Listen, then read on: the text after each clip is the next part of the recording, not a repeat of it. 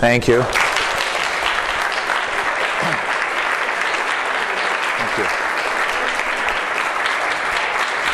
So can you, can you guys hear me in the back? Do I need a microphone? I typically, you good? Yeah. Yeah, tell me if you're not, because I can get a microphone. Okay. Uh, I like this. hear you. They can answer your question.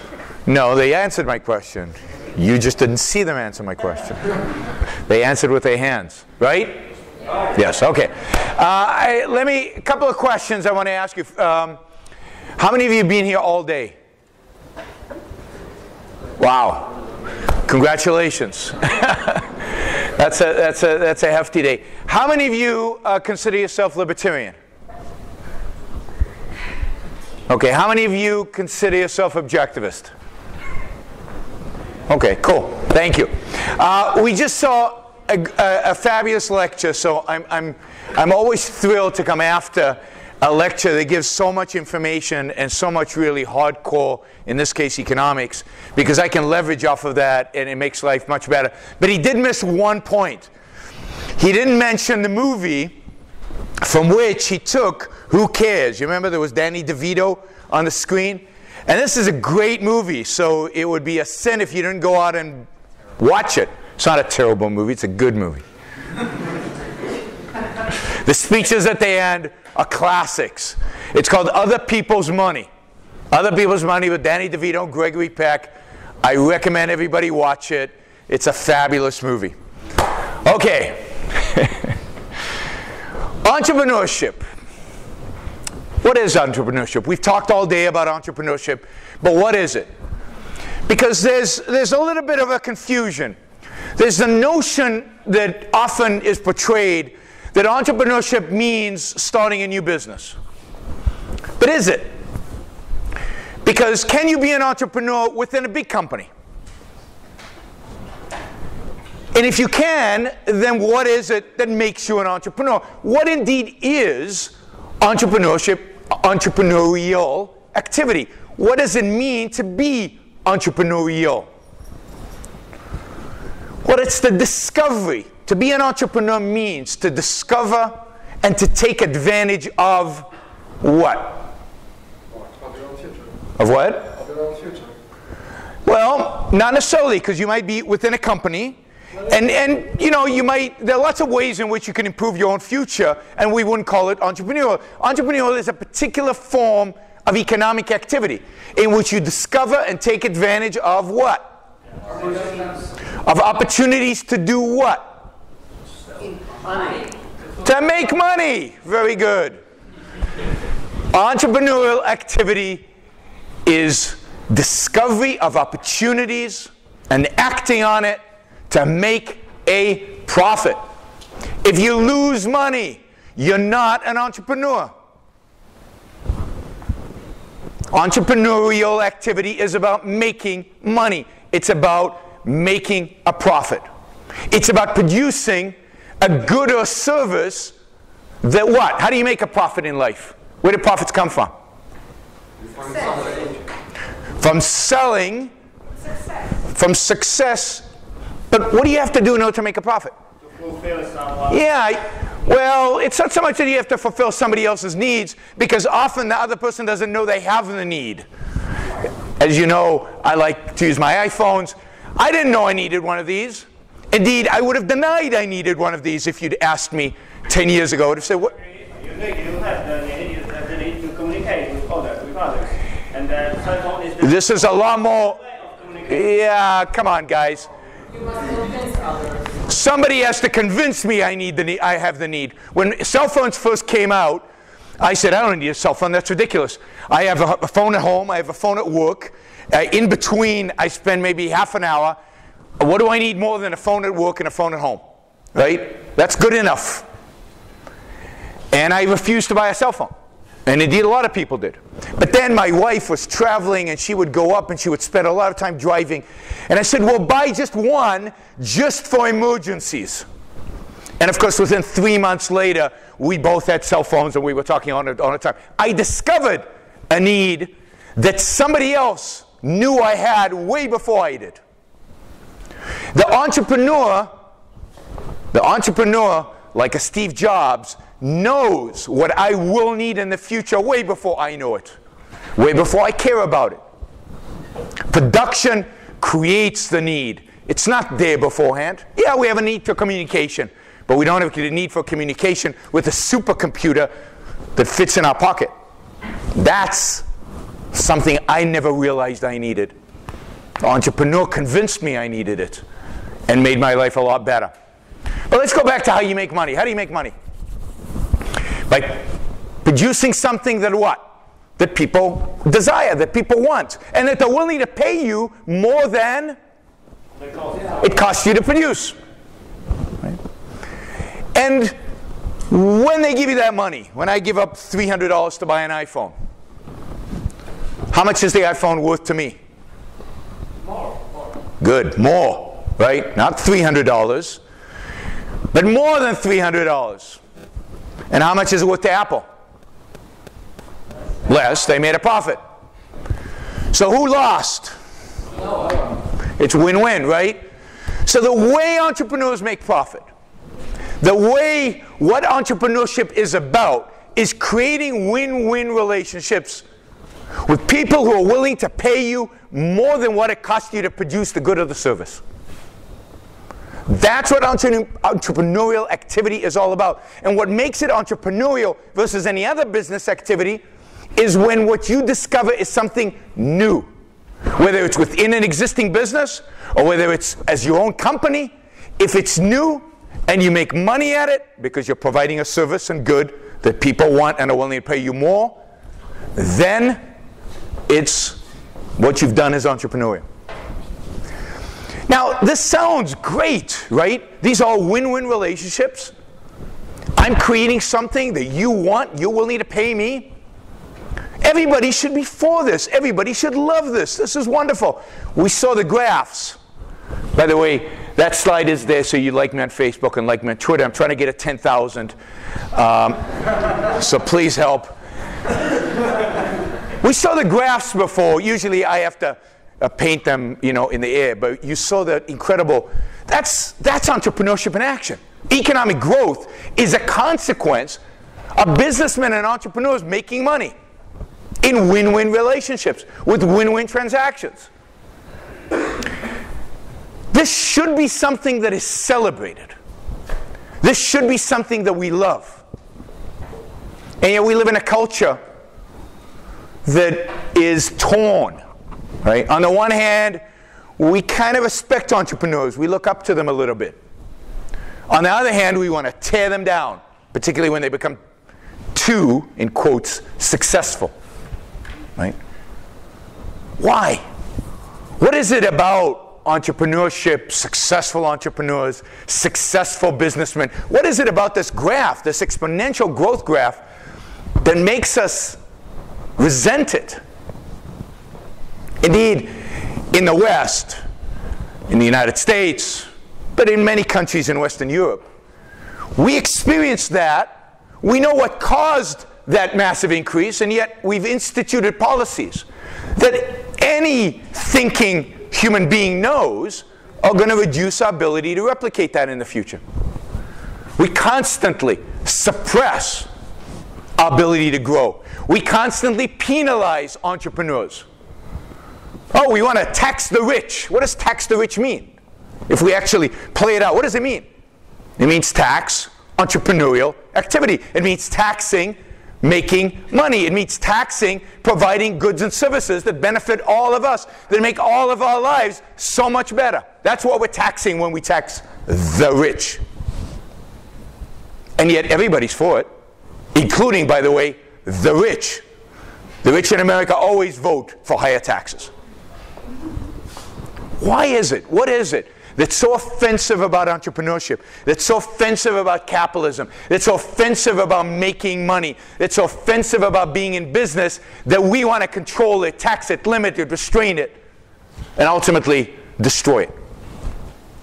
There's something there, right? Because everything else we just saw in the presentation before mine this stuff leads to good, good things. We all benefit. The pie gets bigger. And even the poor, while they, while they have a small slice, and maybe that slice is even smaller, than it used to be relative to everybody else is much bigger relative to what it used to be. Everybody, everybody is better off under capitalism. I mean, unless you're a wife-beating drunk and you don't want to work a day in your life, then theoretically, you know, the welfare state provides you more than capitalism provides you. But you know, who cares about wife-beating drunks? I don't. So what is it? There's something about capitalism we find offensive. Something about freedom and money and entrepreneurship we find offensive. Because what is entrepreneurship at its core about? It's about making money, right? We said that. But making money for whom? Right? Everybody benefits, but as an entrepreneur, what are you about? What are you seeking? Yeah, self-interest manifests how? In money. You're trying to make money. Most entrepreneurs are there to make money. But you're also out to make what? To enjoy yourself. It's a passion. It's exciting. It's fun. It's fun to be in business. It's fun to create stuff. It's fun to engage in the challenge that is the creation of a new business model, a new service, or a new product. Steve Jobs loved making these. It wasn't just about the money, although money was a big factor. It was also about the passion, his passion. Steve Jobs makes the iPhone for Steve Jobs.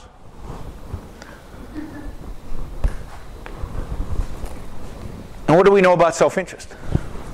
From when we were this big. What do we been taught about self-interest? Good, bad, medium? Yeah, I don't know about you Poles, but us Jews were taught that it's really bad. My mother taught me think of others first, think of yourself last. Don't be selfish. Don't be self interested. Be selfless. We have an entire moral code that we've been living with for 2,000 years that has taught us that the essence of virtue, the essence of morality, the essence of goodness is sacrifice. Not trade, win win, but sacrifice, win lose. Right? You give and you don't expect anything in return. There's sacrifice for you. We've been taught that the essence of morality is to give, is to share without expecting return. It's to be, again, selfless. And that being selfish in any way, benefiting somehow from your activities, is tainted. Maybe it's not evil, but it's tainted. It's not quite right. You know, I used the example of Bill Gates, who made $70 billion for himself at Microsoft. $70 billion. How did he do it? By providing goods to all of us, including everybody out there, including pretty much everybody on the planet, who bought his stuff in win-win transactions, voluntary win-win transactions. In other words, he made everybody's life better off, and he took a small fraction. $70 billion worth. But when you create trillions of dollars worth of value, 70 billion isn't that much. Bill Gates changed the world. He's a real entrepreneur in the sense that he affected everything in the world around him. The world is not the same place post Microsoft as it was pre Microsoft. And we are better off for it. And indeed, there's almost not a person on the planet who's not better off for it. And yet, morally, from an ethical perspective, what do we think about Bill Gates? When he was at Microsoft, making $70 billion for himself. Eh, a great businessman. But morally, are we building statues? Roads named after him? No. So what if he helped everybody on the planet? He made $70 billion. He was self interested. He did it for himself. Therefore, he's outside of the moral discussion.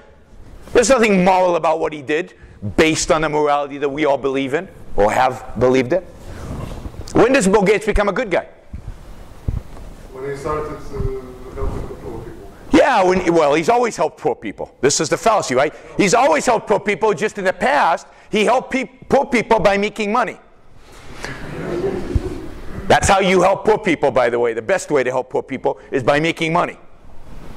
Uh, uh, one billion people, this, is, this is astounds me that this statistic is, is not celebrated. One billion people have come out of poverty over the last 30 years in the world. One billion people. We should be dancing in the streets. But you know why we're not dancing in the streets? Because the reason a billion, a billion people have come out of poverty is because of capitalism, and nobody wants you to know that. Nobody wants you to celebrate because they don't want to celebrate capitalism. The implication would be obvious. It's in China, it's in India, it's in Indonesia, in Malaysia, in South Korea, in Taiwan, in places that have adopted elements, little bits of capitalism, and boom, there's a billion people who are not poor anymore in the world. That's cool. And you know who helped them become unpoor? Those evil entrepreneurs like Bill Gates. Apple going to China and starting up factories. Nike creating sweatshops all over Southeast Asia. Help kids become come out of poverty. But that thought is horrific, right? God forbid that news should get out and people would realize that capitalism actually is good for the poor. So Bill Gates helped the poor when he was at Microsoft, but he helped himself while doing it. He becomes a good guy when he leaves Microsoft. God forbid you make any money.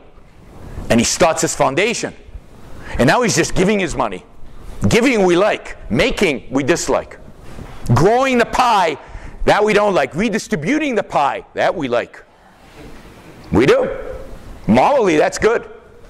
So Bill Gates now, giving his money away, now he's a cool guy. Now he's not a saint yet. Now you guys are Catholic, so you know what sainthood is, right? He's not a saint yet. Why? What's that? Well, but even if he died tomorrow, he'd still not be a saint. Because he lives in a big house and he's still got a lot of money. And you know what? He's even seems like he's enjoying giving the money away. And we know that sainthood and joy do not go together. Have you ever seen a painting of a happy saint? No. Our morality, our morality demands that if you're going to be a good person, a moral person, a virtuous person, you better suffer. Because that's what sacrifice is about. Sacrifice ultimately demands suffering. So, how do we turn Bill Gates into a saint? He'd have to give all his money away, he'd have to move into a tent, and really, we'd want him to bleed a little bit, show us some pain. Now, that's a sick culture. That is a sick culture. That says that building and creating and making something that was never there before, that is eh, morally. Giving it away after you created it, that's good. That's a culture that says being happy and being successful and, and really applying yourself and making, making something of your life, taking care of the people you love, that is eh, morally. Suffering, that's good. Mother Teresa is our standard of morality. Nobody wants to be Mother Teresa, but that's the standard. So, what do we do to entrepreneurs? We say, You selfish bastards. And they know it, right? Inside they know that they should have been Mother Teresa, but of course nobody wants to be. But they became self-interested. What do you feel when you when you want to be when you should be one thing, but you really do something completely different? What do you feel inside? Guilt. Guilt. Businessmen, at least in the United States, I don't know about Poland, I suspect here they feel even more guilty, feel real guilt. Feel real guilt. Somebody like Bill Gates is not giving his money away because he believes it will do the world so much good, more good than Microsoft. He's giving his money away because he feels guilty about making it. He's giving his money away to buy himself into heaven, whether he believes in heaven or not. He's trying to buy himself your love. But why don't we love him originally when he built and created and made all this stuff? Because we have a morality that tells us that's bad.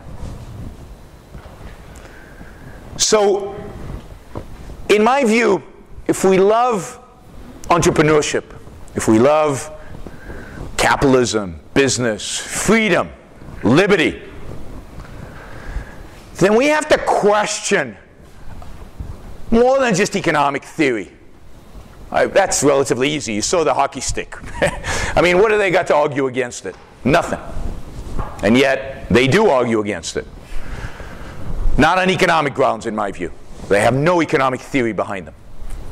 You have to argue more than politics. Politics is the last straw to fall. The real battle, the real battle we have to fight is a moral battle. As long as people perceive the Bill Gateses of the world as eh or negative, we will lose. As long as entrepreneurs are made to feel guilty for their success, guilty for their achievement, guilty for making the world a better place for themselves, we will lose. Economic facts don't matter to people. You can explain all day long why the minimum wage causes unemployment among the poorest of the poor, and people still vote for it. They ignore the economic fact. They do what they feel is good. And if we have to sacrifice a few young people so that other poor people can be a little better off, which is exactly what the minimum wage does, it redistributes wealth from the very, very poor to the slightly less poor. So be it. Sacrifice is cool. Sacrifice is okay. Right? And if we we can't believe the hockey stick, because the hockey stick would suggest that self-interest, i.e., when people are left free to pursue their own self-interest, is a good thing. And we can't, we can't even accept that self-interest is a good thing. Then we reject the hockey stick. Or we find other explanations, or we invent stuff that's about a science fiction. Well, all you have to do is, is read, read Paul Krugman and Stiglitz and all these idiots. And, I mean, uh, they used to be economists, but they forgot, or they ignore. And the reason they can get away with it is because that's what we want to believe. We want to believe capitalism is no good. There's no other explanation. Again, we've had the best economists in the world. We've made the best economic arguments that have ever been made. We've had our Hayeks and Mises and even Milton Friedman, who popularized a lot of this stuff. They, they made the arguments. Nobody's convinced. At least not in the West, right? You guys have had a slightly different trajectory, so maybe there's hope over here. But my view is we have to fight a moral battle. We have to reject the morality that says that sacrifice is good. Because there's an obvious question to ask why? Why should I sacrifice? Why be selfless? Why is somebody else's life more important than mine to me? As far as I know, I only have one life on this planet. Actually, I actually do know that I only have one life on this planet. It's not just as far as I know. One life. Why not make the most of it? Why not live for me? Why do I have to live for you? Why is your life more important to me than my life? I mean, that's nuts. That's ridiculous. So, what we need, and this is what Ayn Rand really contributes to this discussion. This is why I encourage you all to read Atlas Shrugged, The Fountainhead, The Virtue of Selfishness. What she adds to this discussion is a different moral code, a moral code that says no. Your life is not secondary. Your life is primary. Your moral responsibility is not to others. Your moral responsibility is to yourself, to your own life, to make your life the best life that it can be, to pursue your own happiness and achievement. That entrepreneurs are not heroes because they help the world, they're entrepreneurs because they make the most of their own life. Because they take risks and they get rewards they challenge themselves, they apply themselves, they work hard, and they reap the benefits, not just financially, but spiritually as well. That's what makes them good guys. And oh, by the way, they make the world a better place. But a moral code that is focused on self interest is the only moral code consistent with liberty and freedom. Because what are we talking about when we talk about liberty and freedom? We're talking about liberty and freedom for the individual to pursue their own life. But is that right? Is that moral? Is that just? Not according to a morality of sacrifice. No, your responsibility is to others, not to yourself. pursuing your own self interest, who cares? It's okay to control if we believe that that control is going to be good for society or good for the public or good for the poor or good for some class of people who are miserable right now. They're the standard, not you, not your life, not your values. So we need a morality that focuses on self. We need a morality that says to live means to live well. It means to live the best life one can live for oneself. And then what moral philosophers should do is study human nature, study history, study psychology, and determine these kind of values and virtues, which is what morality is about, values and virtues, are good for human beings, and these values and virtues are bad for human beings. These lead to happiness, success, flourishing, and these lead to death and destruction and misery and unhappiness. We know what leads to destruction and unhappiness. What would be great if we discovered what leads to success and happiness? That's what we should be focused on. That's what we should be thinking about. And then we need to be advocating for that kind of morality a morality of success and flourishing. Now, I, we don't have time to get into uh, too deeply into this morality, but I want to I want to emphasize one idea from Ayn Rand in terms of what that morality implies. What does it really mean to live for yourself? What does that require to live for oneself, to make one's own life the best that it can be? What is the one thing, the one value that one must pursue if one takes one's own life seriously? If you want to have a really, really good life? What is the, what is the one value that is required for human survival and certainly required for human flourishing. Our minds. Everything we have, all the values that we have, material and spiritual, ultimately come from the use of our reason, from the use of our mind.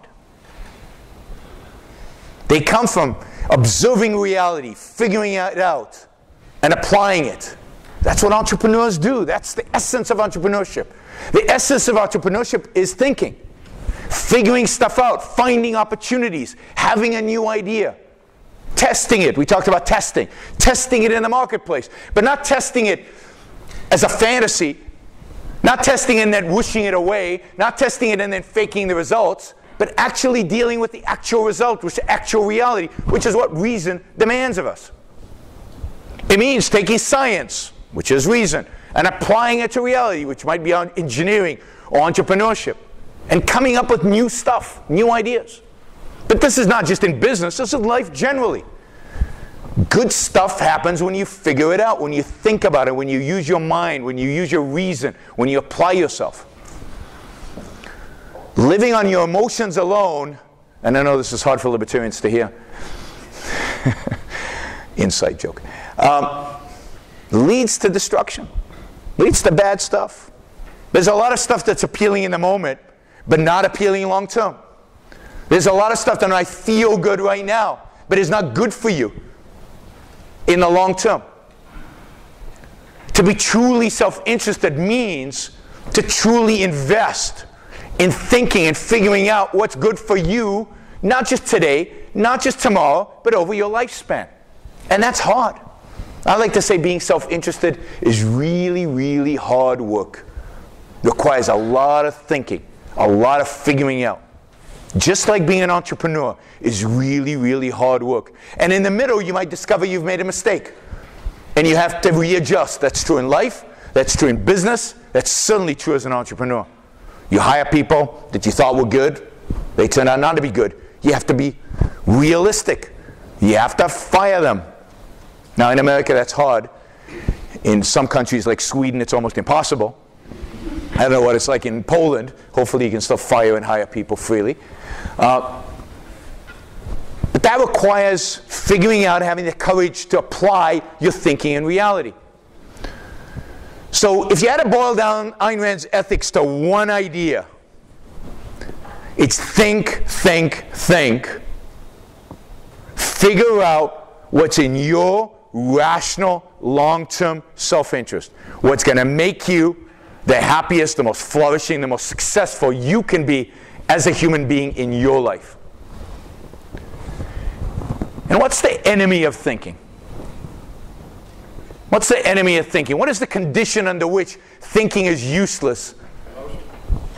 Well, emotion you can overcome, right? Emotion you can override through your thinking. But what condition you, can you live under where you can't override it? Force. Force. Somebody points a gun at you and says, from now on, 2 plus 2 equals 5. And if you act differently, I'm shooting you. It's hard. You can't program a computer. You can't build a bridge. You can't do basic math. Compulsion, coercion, force is the fundamental enemy of human thought. Just ask Galileo. Well, Galileo got off easy, right? Because he only went at a house arrest. Others in his same situation are burnt at the stake or crucified because they thought something that wasn't allowed to be thought. And that kills that thought, and it disincentivizes anybody else from thinking that thought. So if you want to destroy progress, if you want to destroy reason, then you embrace compulsion. You embrace, embrace coercion. You embrace force. And that's why the non aggression principle is true. That's the moral basis for the non aggression principle. It is the fact that aggression is anti reason, therefore, aggression is anti human life, aggression is anti progress, aggression is anti happiness. So, we want a government, we want a political system, we want a culture that rejects coercion, that rejects force. And that's the political system, the economic system of capitalism, a system of freedom, a system of entrepreneurs. Entrepreneurs that can come up with any idea, they can invent anything. And you know what the test is? We are, the marketplace is. Not some bureaucrat, not somebody with a gun, but the marketplace for goods, services, and ideas. That's the testing ground. Are people willing to pay more than what it costs or not? That's the testing ground.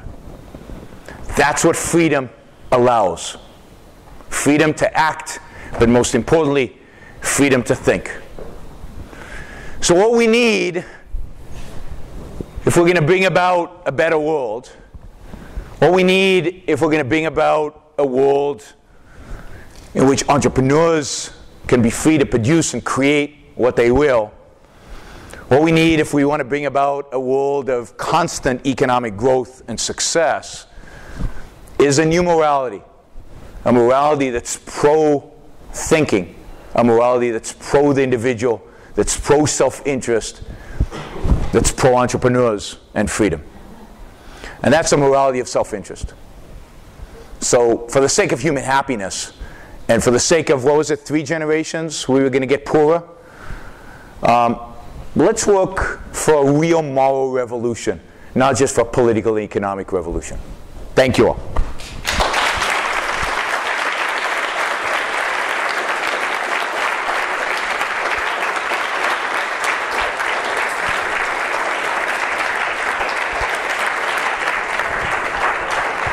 Okay, so I, I purposefully left plenty of time for Q&A. So do we want to circulate a mic or?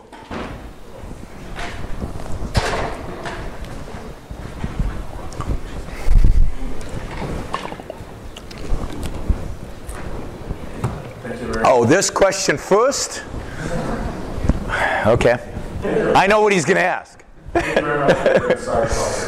Great as always. Um, I, you talked about entrepreneurship today, so since you're so resourceful that you're not only talking about entrepreneurship, but about many things, um, given the current hysteria in the Western world, uh, like the reaction towards uh, so several uh, terrorist attacks in the last couple of months, um, especially Paris very recently, I personally, as a libertarian, very struggled with how I, I should answer my friends who ask me, so what do you think libertarians think? Or what, do the defenders of a free and open society think how we should react as a society, but also how policymakers should react um, to these asymmetric threats we're having? And um, I think Students Liberty is a great forum to discuss different standpoints and shape your opinions so that we actually, as young libertarians and marketeers, can shape our opinion. I would highly appreciate if you could um, tell us what you think how an open and free society should react to um, terrorism, both on a foreign policy but also domestic security policy standpoint. Okay, so let me start by saying this does not represent a libertarian perspective because most libertarians hate what I'm going to about to say. Um, and hate me as a consequence. Um, so I think I, I, think we have to separate the situation in Europe into two separate issues for a moment, and then we'll unite them, right?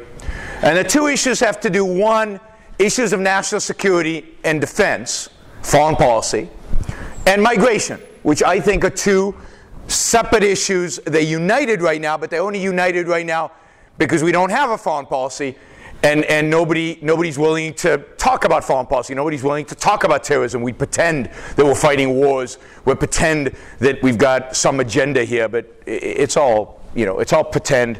It's all, it's all mirrors and smoke and mirrors. Um, my view is that there's a war going on, that the West refuses to acknowledge. And yeah, there's a terrorist attack here and a terrorist attack here, and they're small scale, and it's not that many people die in the big picture, right? But it's only going to intensify because we do nothing about it, and it's only going to grow, and it's only going to become bigger. And one day they might have bigger weapons, like, you know, uh, uh, like bigger bombs, and, and uh, maybe they'll get better at using whatever little limited weapons they have. But this is a war that's been going on. I mean, I date it from uh, November 4th, 1979, the day the Iranians uh, took the U.S. embassy, and it's just been accelerating slowly, on and off, kind of over the periods. And it's basically a war between a certain sect of the Islamic world, I call them Islamic totalitarians, jihadis, fundamentalists, whatever you want to call them, and the West. They hate us. They hate us for good reason. We stand in contradiction to everything they believe. There's a war. The only job of government, in my view, is to protect us from exactly this kind of thing. That's it. It's the only thing they're supposed to do. So do your job. Find the bastards and kill them. and I'm not talking about a few terrorists here and there because those are just tools of powers far greater than the few terrorists. They, terrorism doesn't exist without state support. It doesn't exist without weapons. It doesn't exist without training. It doesn't exist without money. And this, we know who gives them the money. We know who gives them the weapons. We know who gives them all of this stuff. And yet we pretend we don't. We, we live in this fantasy, oh, ISIS. You know, who's ISIS? ISIS didn't exist a few months ago. And suddenly it's the biggest enemy in the world. Who funded ISIS? Who created ISIS? Who made ISIS possible? Well, it's the same elements who made 9 11 possible. It's the same people who made all these attacks possible. It's basically two countries in the world who fund all the terrorism in the world. And we pretend that it doesn't exist. So this continues. Saudi Arabia, which funds all Sunni terrorism in one way or another. Uh, the government doesn't do it, they funnel it through foundations, and it's the Wahhabis, it's not the Saud family, and it's complicated. But who cares? It comes out of Saudi Arabia.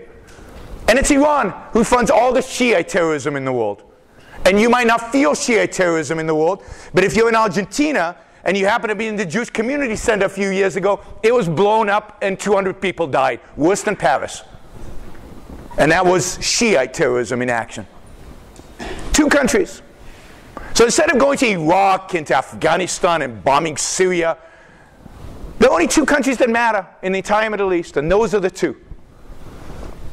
So I would defeat them and thus destroy the entire terrorist network and make it so that it was, let's put it mildly, unprofitable to attack the West. But before that, Politicians, our political leadership needs to declare war. It needs to tell us what victory looks like. And during that period when you have a war, it's legitimate to do things like restrict immigration for the period when there's a war, which you know is going to go away when the war ends. Or even, God forbid, listen into some phone calls here and there, right? But the problem is today what we have is no war, no victory, no enemy. Like a bunch of terrorists. It's like after World War II, after Pearl Harbor declaring war on kamikaze pilots, because you're afraid to name Japan as the enemy. right? So what we have today is an endless war, no end to it. So they can listen to everything we say. Hello, NSA. Um, they can do whatever the hell they want. They can restrict immigration, and there's no end to it because there's no victory. There's no definition of what a victory looks like. So liberties are gone. The state grows. It becomes more powerful, more restrictive, more oppressive, all in the name of defending us while they're not defending us at all. So as liberals, or libertarians, or objectivists, I believe in open borders. I believe in free immigration. But I also believe in defeating the enemy. So if we had a proper foreign policy, we would declare war, we would limit immigration for the period of that war, we would crush the enemy, and then allow immigration again. Uh, so, so that would be that would be my my short answer to that because you can go on and on, and I'm sure people have questions, and some of you want to kill me, but so be it. Yeah. Uh, in fact, I'm impressed by your great talk, uh, and in fact, I envy your enthusiasm on your way of arguing, of your knowledge. But I think that there is a one big problem uh, this kind of a, of a talk. That in fact, you are convincing convincer. Uh, and uh, there is one uh, question which you ought to ask just before your talk. How many socialists are on the, or how many etat statists, or how many reservationists are? And uh, you ought to be invited for the uh, audience full of socialists, uh, not uh, with these people like we are. and so can I can I answer that quickly? So so can I answer that quickly? Yeah. So I've been in Europe for two weeks now. I've given this is my 14th talk. Other than three, all the other talks, well, maybe maybe other than five, all the other talks were in front of socialists. So I agree with you. But, but, there, but there's another point. And that is yes, all of you are anti statist. But my argument was not that the state is bad, that not as capitalism is good. My argument that if we want to win, we need to embrace a certain moral code, which I will guarantee most of you have not accepted because I asked how many were objectivist beginning and very few of you raised your hands. So my goal is not just to say liberty is good, capitalism is good. My argument is to say self-interest is good. The morality of self-interest indeed is the only way we're going to defend capitalism, we're going to defend liberty. And if you try to do it any other way, you will fail. So I think there is a, a, a skeptical audience uh, with that regard, even in this room. Yes, but you have answered my question, and what the last word which I would like to say.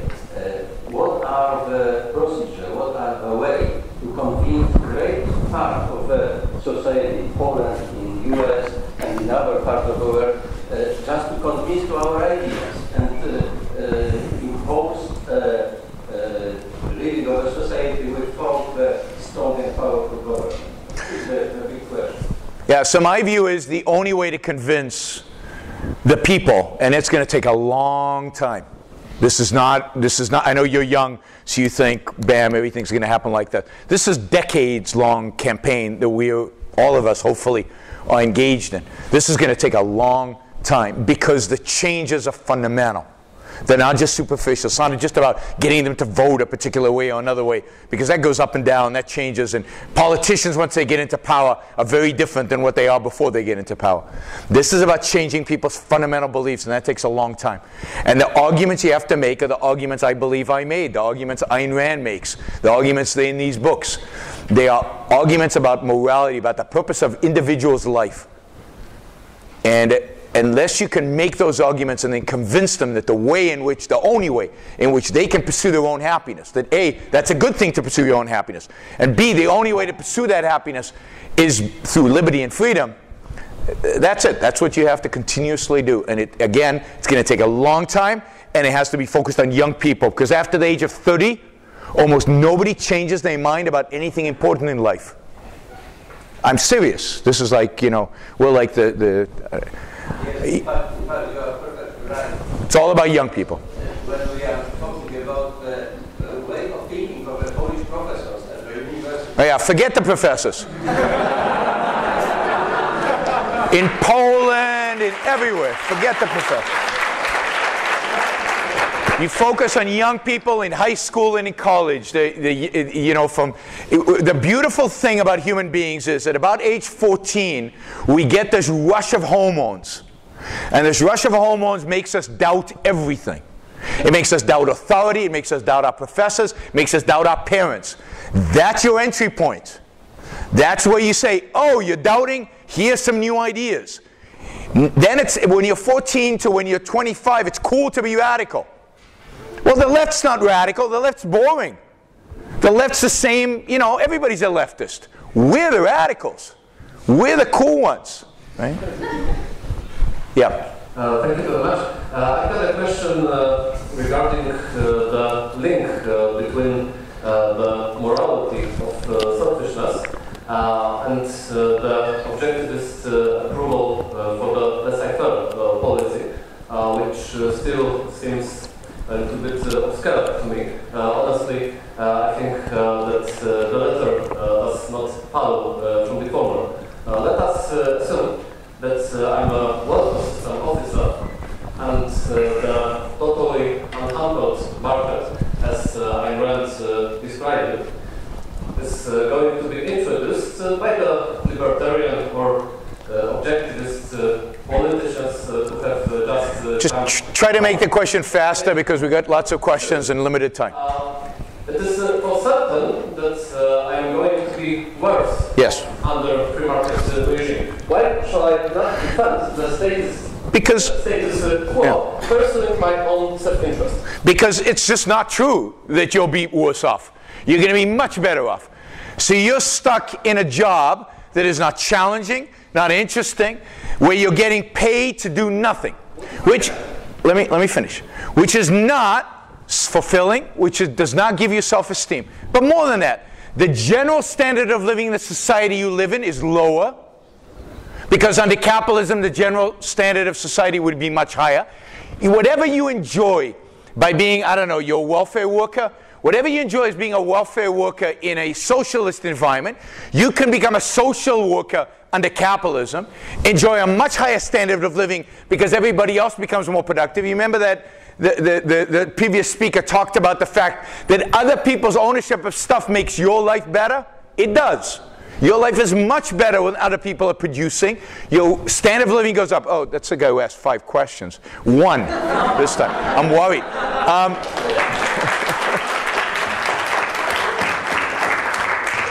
but, but let me flip it. Let's say you're the recipient, because this, is this is an important point I want to make. Let's say you're the recipient of welfare.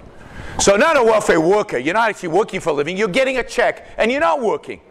You would say you're worse under capitalism. And I say no. You are living a pathetic, miserable life. There is no such thing as being happy and receiving welfare.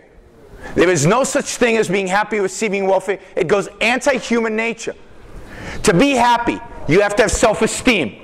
To have self-esteem, you have to take care of yourself. When you're dependent on other people, you cannot have self esteem. When you know you are basically surviving by stealing, you do not have self esteem. Crooks do not have self esteem. Bernie Madoff was not happy, was a miserable, pathetic human being.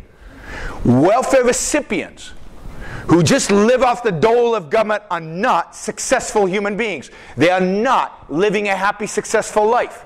If you're poor and you, you're a bricklayer and you're, you're making a little bit of money, but you know that you're feeding yourself and you know you're feeding your family and you know you're putting a, roof above the head of your family, you have pride. You have self esteem. You can be happy even though you're dirt poor. When you get a check from the government, this is why welfare is so evil because it institutionalizes a whole group of people into not just poverty, but unhappiness, misery, lack of self esteem. So, if you, the, the, the connection between um, self interest is not a superficial self interest. We're talking about self interest as qua human being, the full potential, the full capacity as a human being.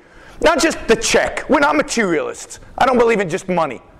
I believe in this, what we are as a spiritual being. That requires a lot more than getting handed a check.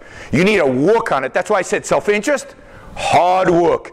90% of the people, 99% of the people out there in the world are not self interested. They don't know how to be self interested. We haven't taught them how to be self interested. They just breeze through life without ever engaging this. And that's not self interest. That's not, and to be self interested and to be incentivized, you need freedom. Yep. One. Well, uh, you told uh, that, you told that uh, the thinking, the reason is that uh, way we need to obtain to, uh, to make our lives better. But uh, the Franz Oppenheimer uh, wrote that there are two uh, means, uh, two ways of getting better, well, getting richer, etc. There are political means and. Yes. And the problem with the thinking uh, is that someone could, that my predecessor, said that uh, someone could think he would use violent uh, force to get his, uh, wealth. And uh, it connects with the first point uh, I note. you, you said tax, people say tax the rich. Why uh, do they say that? I think they say that because uh, today our capitalism is the, the shitty kind, the crony capitalism, and there is full of those who use government use So I, I get it. We don't have a lot of time. economic I get it. So first of all, let me address the second one. It's just not true. It's just not true. Most of the people who are wealthy, and the previous speaker said the same thing, most of the people who are wealthy in America today are self-made millionaires. They are self-made in that they created, they're not cronies. The number of cronies is limited. Yes, if you're a banker, you're a crony, but why are you a crony? I, I'll tell you the Microsoft story and, and, and I'll, I'll, I'll take the next question. So the Microsoft story, Microsoft used to spend, you know how much Microsoft used to spend on uh, lobbying in Washington, D.C.? Zero. So in the early 1990s, Microsoft spent no money on D.C., no money on politics. They didn't have a building in D.C., and they were brought in front of the Senate. And this Republican senator stood up and said, You guys have to start spending money on D.C., you have to start lobbying. We're going to screw you if you don't. And you better build a nice building in Washington, D.C. And the Microsoft guys said, Look, you leave us alone, we'll leave you alone. We don't want cronyism, we just want to do our thing. Guess what happened the next year? The Justice Department came after Microsoft. For what? For giving us a product for free Internet Explorer. It was clear retribution. Guess how much money Microsoft spends today in Washington, D.C.? Tens of millions of dollars. They have a beautiful building in the center of Washington. So, cronyism is a feature of government. And by the way, there's no such thing as crony capitalism. All cronyism is statism. All cronyism is statism. There's crony socialism, there's crony fascism, there's crony statism. Capitalism is free of cronyism. But again, most rich people today, in America at least, made their money the good way. They, is there an element of cronyism? You have to, otherwise you're dead. You have to play the game a little bit. But that's not why. Now, the previous question um, people think it's in their self interest to use force on others. I strongly, strongly recommend that you read The Virtue of Selfishness, which is now available in Polish. So you have no excuse not to read it. and she explains in great detail there why it is never in your self interest to use force on another person, why stealing is not doesn't make you a happy, successful, better person. That indeed it makes you miserable and lousy. And all you have to do is, is, is have you, anybody ever met, well, I'm afraid to ask, right? Anybody ever met a happy politician? I have not. I have not. They are miserable, pathetic creatures who are continuously, continuously stressed and anxious because their power. This is not this is not living a successful life as a human being, living as a politician. They have power over people. Uh, Stalin was miserable, was hateful. All of these guys are. Whether they're little politicians or big successful dictators, they are not succeeding qua human beings. So they are not self interested. They are, power lusting is not in your self interest. Power lusting is a, it's not altruistic, but it's neither. There's a third category. I call it self destructive behavior. People who steal are committing self-destruction. People who, people who mooch are self-destructive. Politicians, for the most part, are self-destructive. Life requires certain things to be successful, to be truly happy, to flourish as a human being. And those things are objectively true. You have to figure out what they are. It's not obvious. It starts with thinking. And thinking, you know, it, it's very rare that people sit down and think. So I, am talking about the corporate world, you know, politics. It's very rare uh, that people sit down and think in the corporate world, I want to be happy, successful. I, I want to live the best life that I can live. So I'm going to steal money from my shareholders. Nobody ever does that. What they do is they don't think. They see a pile of money and they take it. Not because they're thinking, I want to be a good, I want to be a successful person. No, they just take it because it's the, it's, it's a, they're motivated by their emotions. They're motivated by whim. Because if they thought about it, think about Bernie Madoff. Everybody know Bernie Madoff was? Created this big pyramid scheme. All pyramid schemes fail. They all collapse. At the end, he was bound to be caught at some point, right? So the only reason he did it is because he never thought about it. He said, there's a pile of money, I'm going to steal it. There's another pile of money, I'm going to steal it. And one day, you know, he's stolen all this money and he gets arrested and he go to jail. And by the way, Bernie Madoff says he's happier in jail than he was before he was caught. And I believe him. Because stealing and lying and cheating is a miserable form of existence. Well, yep. only the fat guys who believe that. People don't believe it. It's not a question of believing it. It's a question of whether you believe it. It's not a question of whether the crook believes it. The crook is miserable already. Yeah. Well, yeah, I as well am expert of, uh, and I as well am rather skeptical when it comes to selfishness Yeah, I'm sure you are. You see, I have a lot of persuading to do. Yeah. That's not the point I'm trying to make. Okay. It rather comes down to uh, persuasion. You said that we should make a moral case for capitalism and, and yeah. marxism. Um, but don't you think that people are mostly guided by intention and, and brainstem when it comes to morals? Then it's even harder to persuade them on a moral level rather than on, a, on an economic level. Yes, I agree completely. It's harder to convince people on a moral level than it is to convince them on the economic level. Much harder. But it's the only convincing that counts. Because then they interpret their economic understanding based on what their morality is. This is why you can teach them that minimum wages don't work and they still vote for minimum wages. You can show them the destruction of socialism and they still want to be socialists. I'll give you, I'll give you an example right now it's happening in the world. Venezuela used to be the richest country in Latin America on a per capita basis. Richest people in Latin America used to live in, Latin, in Venezuela. They elected a socialist. Today, they're the poorest country in Latin America.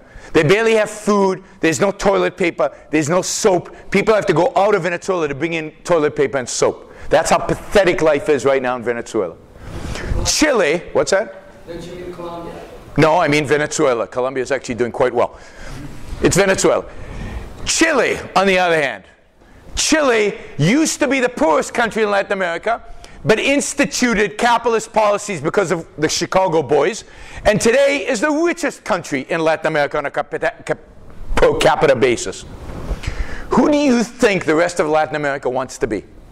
Venezuela or Chile? They want to be Venezuela. Now, you can't explain that based on economics.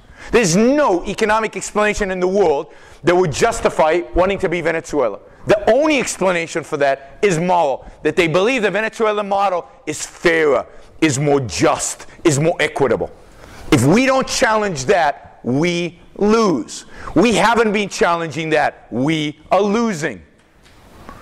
It's all about morality. Once you convince people that they should pursue their own rational self-interest, their own long-term rational self-interest, freedom is easy.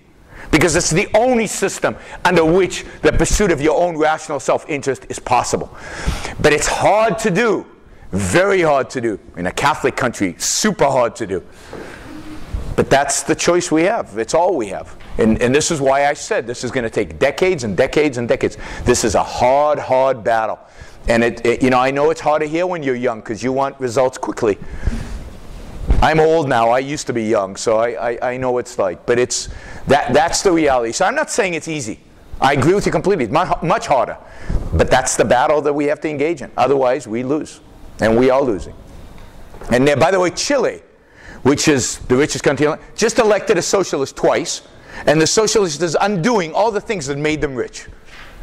They're doing it to themselves, never mind other countries wanting to be them. It's unbelievable when you if, you think, if you think people care about economics. Or, uh, you know, there's this myth in America that people vote their pocketbook, which means people vote how much money, you know, wh- which candidate will provide them with more money. Uh, and yet, if that were true, we'd live in laissez-faire heaven. Because laissez-faire heaven makes us financially much better. Even those people on welfare would be financially better off and under laissez-faire capitalism. That's what the graphs show. Rich people, Obama, when he ran for president in 2012, promised to raise taxes on the rich. And he did raise taxes on the rich, a lot. Guess how the rich voted? The myth is rich are all Republicans. They never. It's not true. Eight out of the ten richest counties in America voted for Obama. In California, we have a referendum where everybody gets to vote to raise taxes on the rich from 10% to 13%. We're talking about Silicon Valley rich, 10% to 13%, and Hollywood rich, right? Guess how the rich voted? Silicon Valley overwhelmingly for raising taxes. Hollywood overwhelmingly for raising taxes on themselves. But that's how we get all these policies. Because it's moral. Because why are they raising taxes? Because they feel guilty. And, and the, the governor goes around saying, if we don't raise taxes on you, those people over there are going to suffer. We're going to have to cut education. We're going to cut welfare. We're going to do all these things. So, of course, to appease my guilt, I'm going to do it. That's it? Yes, thank you. Thank you, guys.